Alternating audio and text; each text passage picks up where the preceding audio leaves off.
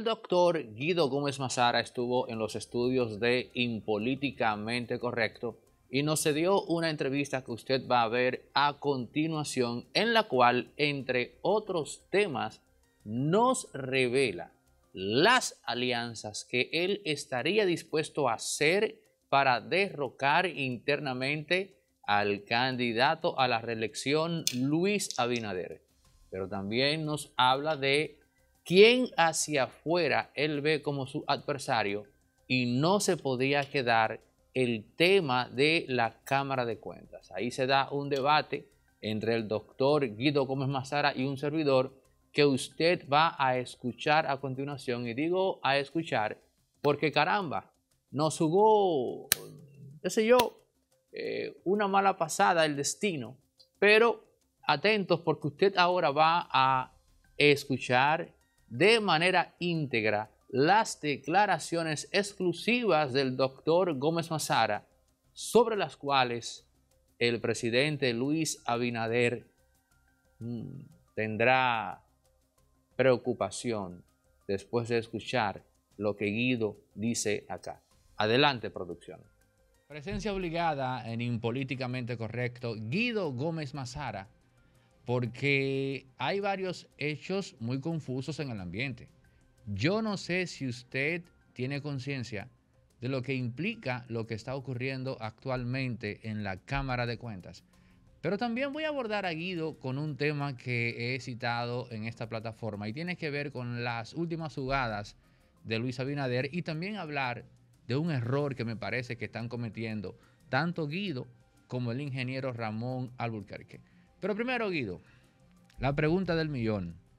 ¿Qué rayos está pasando en la Cámara de Cuentas? Porque lo que estamos viendo es simplemente histórico. Ok, gracias por la invitación. Dale. Lo que pasa en la Cámara de Cuentas es el resultado de cómo el espíritu de la institucionalidad en el país tiene como obstáculo la cultura política. Es decir, en la medida que un órgano, en este caso colegiado, se hace un esfuerzo por posicionar a gente donde los aspectos técnicos sean la garantía de un buen desempeño, tú sientes que hay actores políticos que de una forma u otra trabajan en esa dirección y tienen la intención, en mi valoración, de dinamitar todo proceso que emanado de la Cámara de Cuentas se constituya en la pieza acusatoria por excelencia. Mira por qué. Todos los procesos de investigación en materia de corrupción necesitan de esa auditoría que emanada de la Cámara de Cuentas, como un órgano de carácter constitucional, da una especie de certificado de cuán bien o cuán mal se han manejado los funcionarios públicos. A la gente se le olvida, pero a principio de gobierno la magistrada Garavito, titular de la Suprema Corte de Justicia, mediante sentencia autorizó al Ministerio Público a hacer un allanamiento a la Cámara de Cuentas. ¿Fue eso un error histórico? No. ¿No lo fue? No. Recuerdo que varias voces criticaron en su momento ese allanamiento porque entendían que precisamente a ese órgano, con esa facultad que tú has descrito, no se le puede poner entredicho porque no es tanto quienes componen el Pleno, sino el mito de la Cámara como ente que tiene la potestad suprema para auscultar a todo el mundo. Lo que pasa es que el carácter jurisdiccional de cualquier órgano colegiado en la República Dominicana, Cámara de Cuentas o cualquier otro, no le exceptúa del cumplimiento de la ley, ni de la persecución de la justicia. Y lo que hizo, eh, bueno, la Suprema Corte de Justicia fue de conformidad con un requerimiento de la Procuraduría General de la República, hizo un allanamiento y encontró cosas difíciles. Te lo doy como información. Parte de los procesos acusatorios que el país conoce como, para decirte uno, calamar, tienen que ver con fases certificadas por la Cámara de Cuentas. Eh, inclusive la etapa de maquillaje, confesada por el anterior titular de la Cámara de Cuentas, que a su vez su esposa es hermana de la esposa de José Ramón Peralta, para que la gente tenga una idea de cómo se estructuraron las cosas. Repite eso, repite eso. La esposa. No, el anterior titular de la Cámara de Hugo Álvarez. Hugo Álvarez, vegano por origen, está casado con una distinguida dama que a su vez es hermana de la esposa de José Ramón Peralta. Está casado con una distinguida dama que es hermana de la esposa De José Ramón de Peralta. José Ramón Peralta. Ok, comprendo. Bien. Entonces, entre los aspectos fundamentales que se ha investigado del listado está la visita sorpresa. ¿Quién era ministro administrativo? José Ramón Peralta. Entonces, frente a ese proceso de importancia institucional de la Cámara de Cuentas, comenzó todo un pulseo. Y te doy otro dato. Una de las titulares de la actual Cámara de Cuentas, la señora Mackenzie, su apellido, era de las principales colaboradoras de Donald Guerrero en el Ministerio de Hacienda. Para que tú veas cómo se van incorporando los elementos. Entonces, cada vez que existe un intento de transparentar el esfuerzo de auditoría, tú encuentras un conflicto. Además, cuando tú vas a la ley, y yo siempre quiero, frente a cualquier tipo de discusión, darle una respuesta de carácter racional. Cuando tú vas al espíritu de la ley, te darás cuenta de que quien gobierna la Cámara de Cuentas no es el presidente, es el Pleno. Quien gobierna la Cámara de Cuentas no es el presidente, sino. O sea, pero eso tú lo dices a nivel nominal o lo que ocurre en la no, en práctica. términos prácticos. Eh, el presidente de la Cámara de Cuentas no puede quitar a un chofer. Es el Pleno. pero, el pero él está en ese pleno. Sí, pero el problema es que los políticos de la tradición eh, decimonónica del país lo que hacen es que te arman una mayoría mecánica. No es la primera vez. Aquella Cámara de Cuentas de Andrés Terrero, ¿te acuerdas? Fue abortada Mm. con un juicio político. La gente debe recordar eso. Ok, tú lo que estás diciendo, espérate, tú lo que estás diciendo es que la actual Cámara de Cuentas nació con un tranque. Claro, porque la habilidad, entre comillas, de exponentes de la clase política provocó la construcción de una mayoría. En la Cámara de Cuentas hay un 3-2. Está Anel y el doctor Fernández, que votan en bloque. Las otras tres no votan en bloque. Votan a favor de un interés que evidentemente tiene características políticas. Ok, pero me parece increíble que, por ejemplo, en el Palacio, por ejemplo, en el Congreso, nadie advirtiese que estábamos en presencia de una trampa. Lo que pasa es que la otra opción era la peor. Bueno, ahora, ahora tú me hiciste perder. O sea, ¿cuál era la Sí, otra opción? Vamos a ver. Porque es que la gente aquí no le da seguimiento a los acontecimientos. La opción formal que se tenía era de colocar a Roberto Martínez Villanueva de presidente de esa Cámara de Cuentas. ¿A ti se te olvidó? Ok. Yo lo voy a hacer como recordatorio. Y las opciones eran a un exponente de la partidocracia tradicional que había sido funcionario con Balaguer, o en segundo lugar, habilitar la posibilidad de un técnico. Porque el actual presidente es un técnico, de verdad, que ha trabajado en anteriores gobiernos. Ahora, cuando tú colocabas el dilema de hacia dónde ir, lo racional era apostar a un técnico. ¿Cuál fue el inconveniente?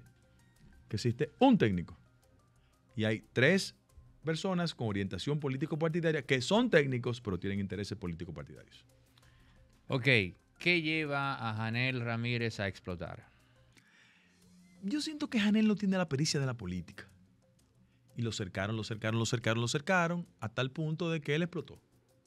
La actividad política, como cualquier actividad, necesita de una piel especial.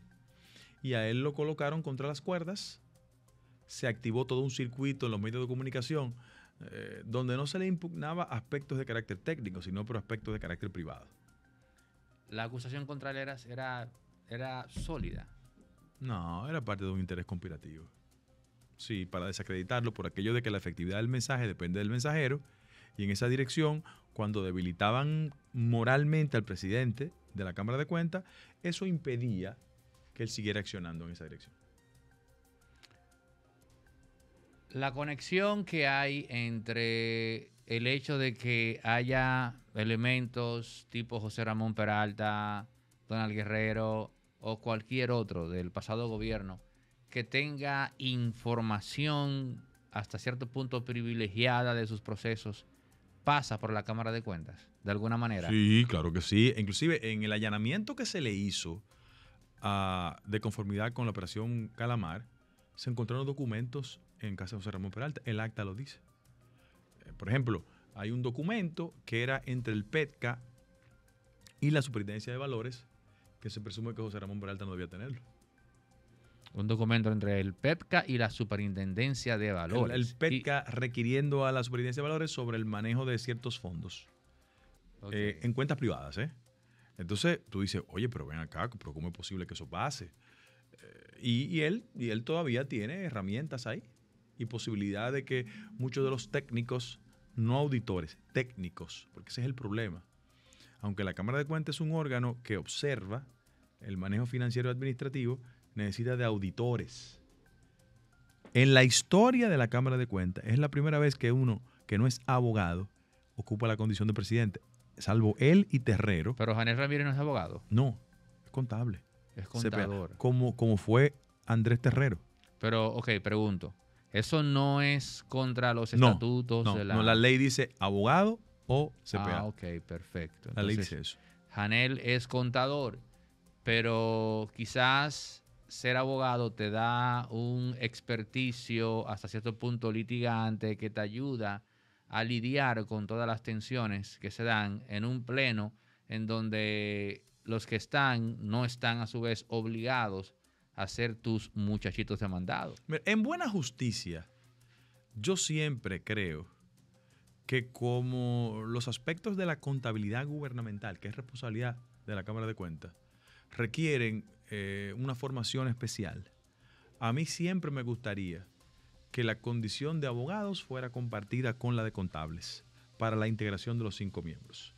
En este caso hay cuatro contables, un abogado. Cuatro contables y un abogado. Yo hubiese preferido un 3-2. Entiéndase, tres abogados, dos contables. Yo hubiese preferido tres abogados, dos contables. ¿Qué le espera a la Cámara de Cuentas después de esto? Ya se está hablando de juicio político, Eso es inevitable. Sí, claro. Ok, ¿quiénes deben ir a ese juicio político? ¿Todos? Desde mi punto de vista, todos. Todos. ¿Has logrado percibir grados de responsabilidad desde fuera? Mira, tanto Janel como Fernández tienen una actitud eh, naif. Ingenua. ¿Por qué? porque su gestión partió de la buena voluntad y de hacer las cosas correctamente. Pero hay gente que tiene agendas ocultas ahí.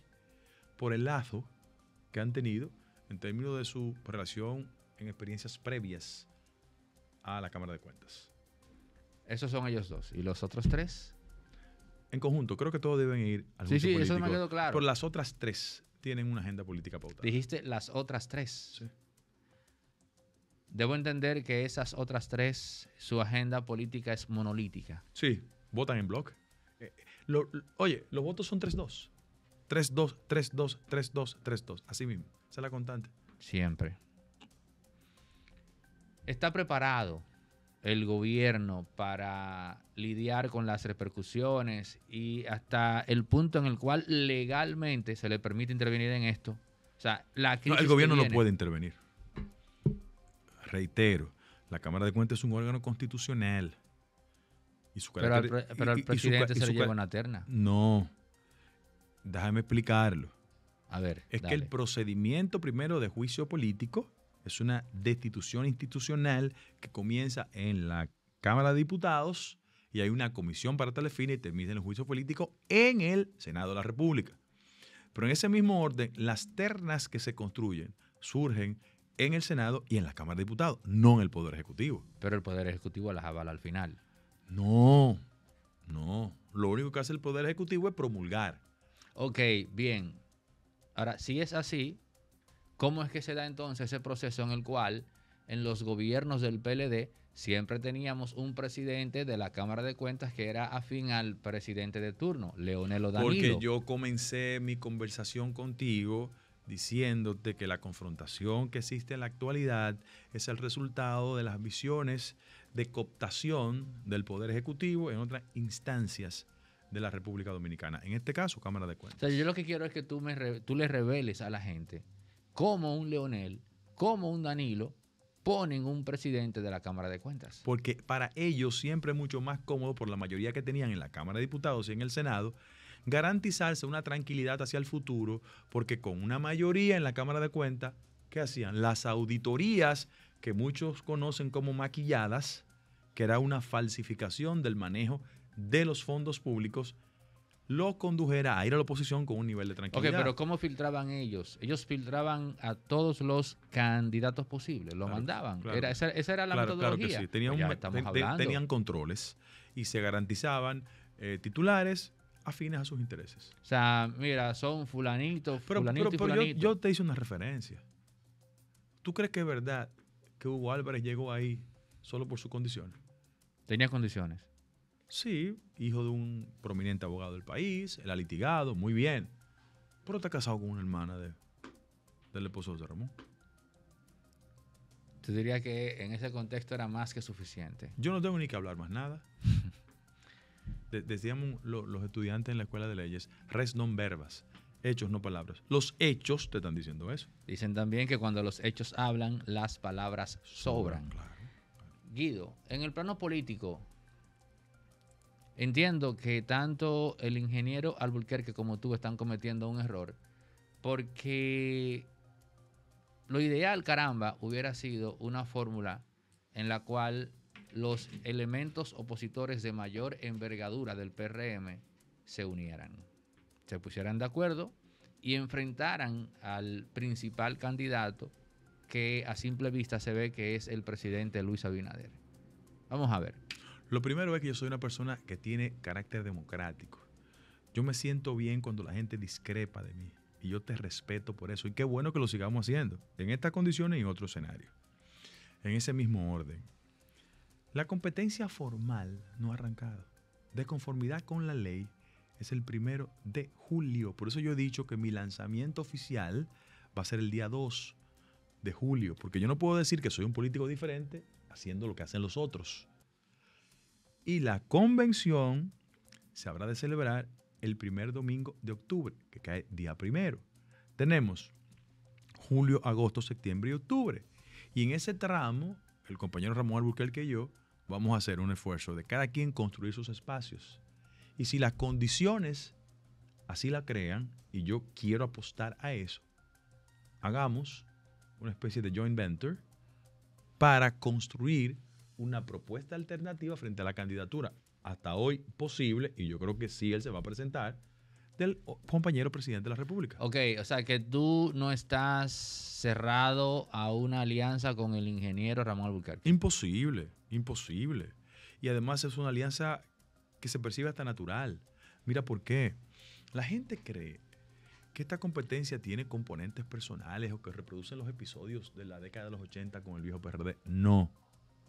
Mi visión es que en el PRM estamos obligados a construir una alternativa interna mucho más próxima con los sectores liberales y progresistas que fueron la raíz, no solo del PRD, sino del histórico Partido Azul, que en el siglo XVIII reivindicó Luperón y que desafortunadamente Ulises Herón lo distorsionó. Mira por qué. Desde el año 1996 en la República Dominicana, Balaguer legó el espacio conservador a Leonel Fernández. Leonel Fernández hizo una cooptación inteligente de ese espacio. El espacio conservador está copado. ¿Qué ha hecho el compañero presidente de la República? Se ha ido a un espacio que naturalmente tiene que compartir con otro dirigente político. Y la franja liberal y progresista sobre aspectos fundamentales del debate nacional no se parece cómoda con el presidente. Por eso la encuesta dice que el 69% de la población, una encuesta rigurosa como Galo, percibe el gobierno muy cerca de los ricos. Entonces, ¿cuál es el problema? Que la base social de mi partido son los sectores medios y pobres. Y sobre ese criterio, yo reivindico a Peña. ¿dónde está la propuesta más allá de organizar el espíritu del cambio en las elecciones pasadas? ¿Dónde está la propuesta del gobierno sobre temas esenciales como los siguientes, que constituyen el elemento encadenante del histórico partido? Mira, ¿tú conoces la propuesta del gobierno sobre los intelectuales y los académicos. O sea, ¿qué visión tiene la gestión de gobierno y el PRM sobre los intelectuales y su rol? Hablo de Peña, que lo hacía, ¿eh? ¿Qué visión tiene el actual gobierno sobre los temas de carácter ideológico? Este es un gobierno de derecha, de izquierda, de centro. Sobre las políticas sociales fundamentales, más allá de incrementar los subsidios, correcto. ¿Qué estamos haciendo nosotros? Yo te voy a dar dos manifestaciones en materia de política económica. La primera, Reconozco que con un entorno internacional desfavorable, que la economía crezca 4% es una señal correcta. Ahora, ¿cuál ha sido la estrategia del gobierno en materia económica? Te la voy desmontando rápido. La primera, apostar a la alianza público-privada ¿eh? y apostar a los fideicomisos. Si el objetivo del gobierno, un gobierno de raíz social, progresista, consono con lo que es el PRM hoy en día, se implementan políticas similares desde el Estado, yo hubiese preferido mil veces reducir los niveles de evasión fiscal 61% y sentarme con el gran empresario y decirle, mire, ustedes no pueden recibir 5% de exenciones fiscales del PIB, porque eso es más que los sectores educativos. O sea, las exenciones que se le dan al gran empresariado dominicano supera a los recursos que se le entregan al sector educativo. Eso es un gobierno con un sentido de compromiso social. Te voy a dar otro ejemplo. Es un tema que la gente no detalla mucho. La preservación de la tasa de interés, que se incrementó el año pasado de 3% a 8.5%, le generó un problema a la clase media. ¿Tú sabes por qué? Porque el que adquirió un apartamento y tenía que pagar 20 mil pesos, en la medida que la tasa de interés se fue incrementando para estabilizar y controlar la inflación, se le dispararon un 28% el pago de los intereses mensuales. esos son elementos que en la gran discusión de la política deberían estar. Eh, yo te incorporo otro que debe ser parte de un debate. Claro, si en la República Dominicana existiera una cultura del debate de las ideas. Por eso yo tengo una visión de partido totalmente diferente. Mira, las exenciones, ¿eh? producto de los incrementos que se han experimentado en el nivel de inflación, se llama la indexación, de la mayoría de los salarios en la República Dominicana está retenido del año 2017. Un gobierno que tenga sentido social estaría postulando y trabajando para lo siguiente. Si entre el 17 y la fecha la inflación acumulada ha sido de 36%, ¿tú sabes cuánto ha dejado de recibir la clase media, el dominicano y la dominicana que tiene que pagar la tesorería de la seguridad social mensualmente? 80 mil millones de pesos. Guido. Un gobierno que reivindique lo que Peña representó estaría empujando eso. Guido, vuelvo al plano interno de tu partido. Para nadie de tu ámbito es un secreto, la ruptura de la relación, o la armonía, más bien, de Lisandro Macarrulla y el presidente. Tú eres candidato, don Ramón también.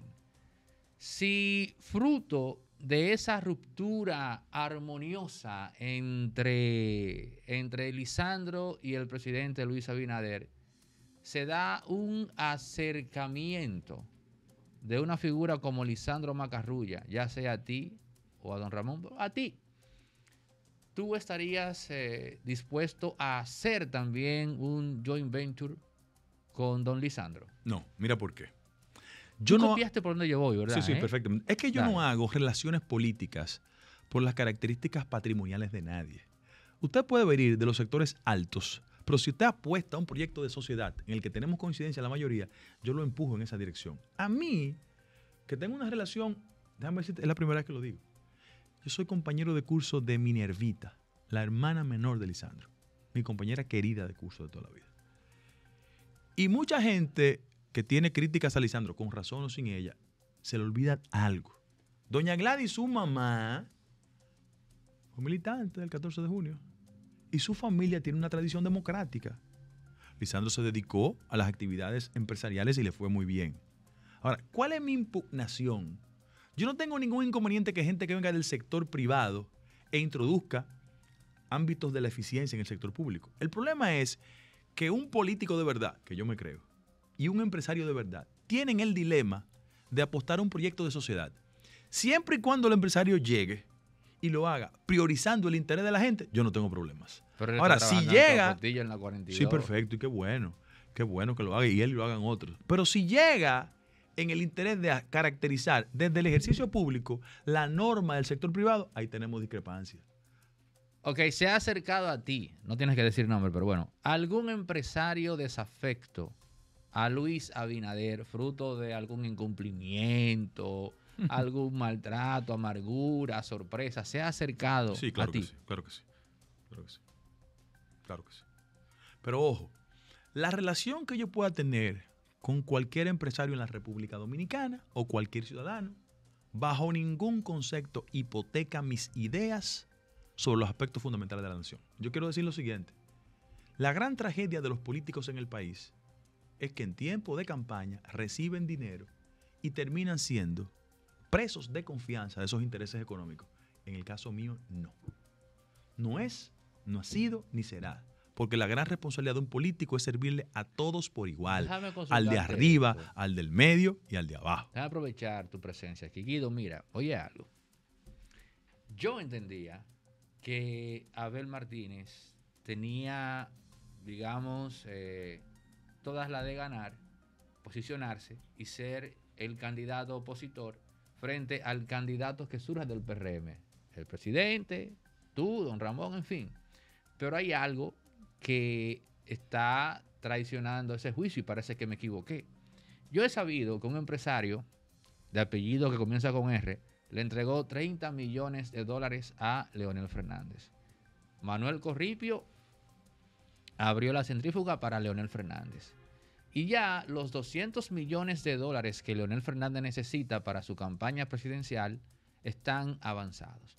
Yo me dije, parece que te equivocaste, Neudis, porque los empresarios todos los meses tienen por lo menos dos encuestas en sus escritorios. Si yo estoy viendo que los empresarios le están dando millones de dólares a Leonel Fernández y veo a un Abel Martínez quejándose de que los medios no lo están mencionando, es evidente que esos empresarios han decidido billetear a Leonel, pero lo han hecho sabiendo yo que no les gusta correr riesgo, lo han hecho sobre base de lo seguro. ¿Y qué es eso? Sus números. Vislumbras tú que sí o sí Leonel sería el candidato de la oposición del PRM. Como, como, nosotros hacemos un ejercicio de comunicación democrática, tú pusiste de manifiesto una interpretación no coincidente con mi comportamiento y te lo respeto. Pero yo te voy a hacer una crítica. Adelante. Yo creo que mucha gente de la comunicación mal cree que todavía el factor económico es el fundamento y o éxito de cualquier político.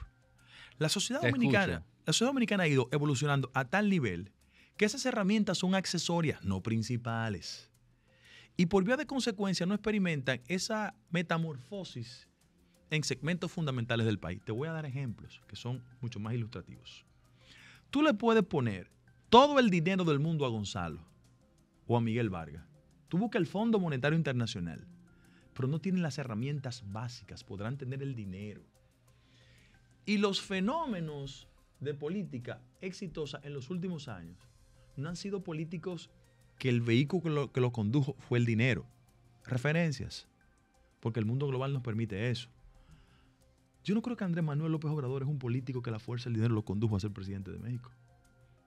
Yo no creo que Nayib Bukele es un político que el dinero lo condujo a ser presidente. Yo no creo que Gustavo Petro, es, un es un presidente que surgió producto del dinero. Es decir, los modelos económicos construidos solo por la fuerza del dinero se requebajaron en el país. ¿Pero qué significa eso? Porque te, estoy, te estoy diciendo que yo estoy en desacuerdo contigo en la medida que crees que ya la República Dominicana del siglo XXI la va a determinar lo que entiendan cuatro o cinco empresarios. lo que te estoy diciendo es que, lo que te digo es, si los empresarios le están colocando dinero a Leonel, eso me da a entender a mí que los números de sus encuestas le dan a ellos que Leonel es el candidato opositor con más chance de llegar a la presidencia. Simplemente eso. Pero escuchándote, tengo que hacerte una segunda pregunta. Toda la que tú quieres. Leonel Fernández tiene esa condición, me explico. Tú te dices para ti, óiganme, por más dinero que le pongan a Leonel Fernández, Leonel no va a llegar a ser presidente otra vez. es que Leonel fue presidente de la República tres veces en este país. Él está en otras condiciones. Porque hizo favores, porque hay sectores económicos que crecieron en la sombrilla de su gestión y hay un vínculo natural de gente que por un sentido de gratitud quiere apostar a su proyecto. Y, yo creo que hay un componente que lo va a ayudar. La disminución significativa del PLD provoca lo que yo dije hace un año y querían acabar conmigo. Un flujo natural de gente del PLD hacia allá como hicimos nosotros del PRD, que nos fuimos todos para el PRM. Eso es normal en la política. Ahora, en el caso específico del expresidente Fernández, yo sería un mezquino si yo no reconozco que él es un político que tiene formación, dominio temático y sobre todas las cosas puede articular el discurso del siglo XXI. Ese es un hecho innegable. Y como él, otros políticos en el país, porque él no tiene el monopolio de esas características. Tú puedes tener toda la discrepancia del mundo con Ramón Albuquerque y tú lo sientas ahí y tú le dices estabilidad del Estado, ¿verdad? Calidad del gasto, inversión, el tema haitiano. Y él tiene dominio temático. Eso es innegable. Tú puedes tener toda la discrepancia con Luis. Luis no es el político de la ilustración académica, pero lo ha ido mejorando sustancialmente. Inclusive, yo le he planteado públicamente que hacia lo interno del proceso vayamos a un debate civilizado. Lo propuse también, lo propuse hace como tres semanas eso, un debate entre Luis, eh, tú y Albuquerque, y dije que el punto débil de ustedes dos, el punto débil era ya el manejo empírico que tenía el presidente del Estado. Hay cositas que él tiene que saber que ustedes no. Bueno, vamos a, dejar, vamos a dejar que sea la sociedad que determine eso, pero yo quisiera, por el amor de Jehová. Tú estás llamando a Luis a un debate. No, yo quisiera, por el amor de Jehová, primero al mecanismo institucional del partido, que el presidente del partido ejerza la condición de presidente del partido y convoque a un debate entre los candidatos, porque ellos no son quienes postulan ser una nueva generación de políticos y no creen en la nueva política. Bueno, la nueva política obliga a un debate de las ideas. Bueno, tengo para decirte que ya el presidente respondió a eso. Y el yo lo vi en el programa de tu amigo Cristian Jiménez y Pablo Maquini. Amigos míos son los dos. Él dijo que él está de acuerdo con un debate hacia afuera. O sea, debate entre candidatos, pero con un debate interno. Ok, ok. Pero lo que él diga en ese programa lo respeto. Ahora, la institucionalidad del partido tiene que pronunciarse. Porque ellos, en la condición de presidente y de secretario general, no pueden actuar como empleados en el caso específico del presidente del partido, que es un empleado de Luis Abinader. Ahora, él tiene que comportarse como institucionalidad. Y yo le voy a mandar una carta pidiéndole a él que convoque un debate, porque lo que Luis opine está en su derecho. Ahora, yo te puedo enviar los videos de Luis pidiéndole un debate interno a Hipólito. O te puedo enviar los videos de, de Luis Él se lo pidió, él se lo pidió. Sí, claro. O él pidiéndole debate, por ejemplo, a, a Gonzalo. ¿Por qué se lo pedía a Gonzalo y a Hipólito? Y no quiere con Ramón y conmigo. No, respóndeme. No, no, que debe responder él. Ahora, cualquier ciudadano que me está viendo, ahora mismo, de mi partido o fuera de mi partido, sabe que humildemente yo tengo las herramientas cognitivas para el gran debate nacional. Yo pongo las S donde van, las I donde van. Tú me preguntas a mí el tema sobre el tema migratorio. Yo no tengo un discurso dual como el gobierno. El gobierno tiene un discurso dual con el tema migratorio. Sí. ¿Te lo puedo explicar? Yo favorezco toda acción del gobierno dominicano de preservar las líneas generales de su política migratoria. Ahora, hay una dualidad en ese discurso y también coincido con el gobierno en el interés de otros países de hacernos cargar a nosotros la tragedia del hermano país haitiano. Sin embargo, tú no puedes tener ese discurso público y no ponerle techo a los visados de ingreso mensual a la República Dominicana. Te voy, a dar un dato que quizás tú lo conoces. Él anda, o sea, el presidente anda proponiendo ese cargo a elementos que han tenido choques con el gobierno. Exfuncionarios, gente que ya no está. Mira, te quité, pero vamos a nombrar al hijo tuyo en, Haití para que tú te capitalices. No, no, no, no, espérate, espérate. Yo trato de ser un político transparente. Es que el cónsul en Puerto Príncipe es el hijo de Andrés Bautista, mi hermano. No, no, me refiero, no me, refiero, no, me refiero a eso. No, no, hablo para que tú veas que ha existido históricamente una lógica de retribución al trabajo político, como lo hizo el PLD con los cónsules allá. Claro. Ahora, si queremos una política hacia Haití transparente, no puede ser dual. Yo lo que, estoy diciendo a ti, lo que estoy diciendo a ti es que a un exfuncionario que quitaron recientemente, le ofrecieron eso para que se capitalice por ahí. Pero en segundo lugar, yo estoy de acuerdo con que todo Estado tiene derecho a determinar quién no ingresa a la República Dominicana. Pero tú no puedes tener ese listado con exclusiones selectivas. Te explico. Qué raro que Gilbert Villot no aparece. Bueno, y qué raro que tiene una gran participación en el sector de los combustibles en el país. No, si a eso vamos. No, con tres líneas de funcionarios, dos por decreto y uno administrativo vinculado al Grupo Villó. Entonces no puede haber un discurso dual sobre el tema. Tiene que haber un discurso. ¿Tú ves mi diferencia? Que yo les reconozco una actitud responsable ante la comunidad internacional. creo que el Estado dominicano tiene que definir sus políticas migratorias. Ahora, yo no creo en los criterios selectivos, porque empresas acusadas por el gobierno norteamericano y por el gobierno canadiense de financiar bandas criminales tienen su representación en la estructura gubernamental. Guido, tú te, porque eso fue un paréntesis que tú hiciste, tú te vislumbras. Esta es una pregunta complaciente, pero bueno, porque todo candidato le encanta escuchar un escenario en el cual ya sea el presidente.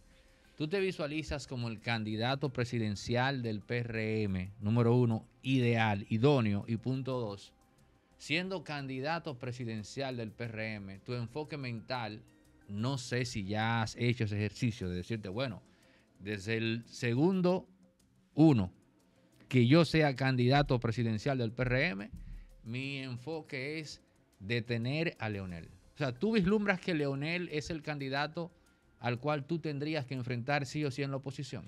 Lo primero es que nunca me gusta usar la primera persona del singular. Yo prefiero la primera persona del plural.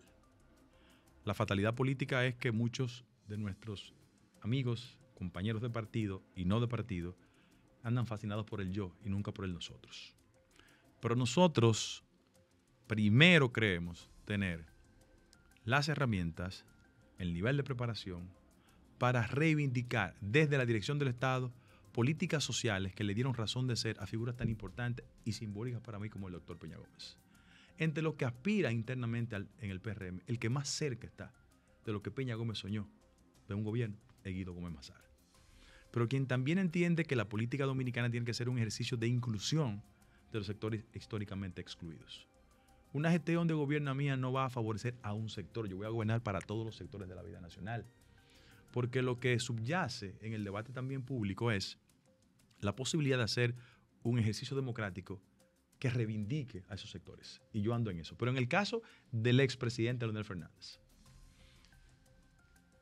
si un debate se oficializa como yo aspiro. Lo aspiro hacia lo interno de mi partido y ya en la competencia. Si se organiza un debate entre el potencial candidato de la oposición, que es Leonel Fernández, y Guido Gómez Mazara, todos los PRBistas saben que yo voy a hacer un desempeño efectivísimo. Yo no sé si piensan lo mismo del hoy presidente de la República. En última instancia ya, eh, Guido, para culminar tu participación acá tu estrategia para vencer una alianza Leonel, Abel o PLD, Fuerza del Pueblo, si te toca o si llegas a ser el candidato del PRM? Mira, es que un candidato con mis características, y vuelvo al nosotros, no al yo, va a generar entusiasmo en los sectores insatisfechos que construyeron la mayoría de Luis. Con los que están con Luis, pero con segmentos importantes de la sociedad dominicana que saben que conmigo se cita hacia el futuro. Hay una figura mítica que se llama la mujer de Lot, que prefería tanto el pasado que se le colocaba los ojos en la espalda. Conmigo la gente está convencido que esa agenda lamentablemente postergada va a ser posible. Porque yo me parezco al que está en Gualey, en Guachupita, en Lomina, en Catanga, el que entra al CONEP, el que imparte docencia, pero fundamentalmente al de la diáspora dominicana, que como la sociedad dominicana le cerró las expectativas, se fue y con mucho talento ha contribuido con el desarrollo del país. Guido, gracias por tu participación en Impolíticamente Correcto. Estoy frente y comiendo porque el tema de la Cámara de Cuentas, que yo no sé en qué va a parar, yo no sé si tú sabes en qué va a parar. Hay, una, una destitución. Destitución. Vía juicio político. ¿Qué tiempo se toma? Una, ñapa. Eh, el pleno nuevo, ¿qué tiempo se, debe tomar un mes. Un mes. Como mucho ves a alguien sacando cabeza, ahí vamos a meter a fulano. No, pero, pero, ojalá la politiquería no apueste una recomposición. Mira, esto no afecta directamente la composición de los expedientes que tiene Jenny Wilson. Este no, los que están hechos, ¿no? Los que están hechos, no. Es que están desmaquillados. Yo la última vez que hablé contigo aquí hablé de procesos y te dije, Donald, Donald, la gente decía que no, Donald. No, yo entendía que no, que no iba. Bueno, entendía que no. te gané esa apuesta. Pero... Eh, Hacemos otra. Me Espérate, me parece que el empresario, me parece que... Mira, caramba. Yo vi a Donald Guerrero caminando por el pasillo y eso fue una imagen para mí mind blowing, como dicen los gringos. Mind blowing. parecía un zombie. Y yo me dije, esa, ese es el semblante de un hombre al cual han obligado a cargar con algo que él no está capacitado para ello. La impresión que me da es que se logró sí o sí una desvinculación del empresario aquel sobre la base de que se sacrifique él. ¿Tú qué me dices? Yo te doy otra lectura para analizar. Es el riesgo que corren los políticos tradicionales procurando bolsillos previo al poder y post-poder. Ahí están las consecuencias.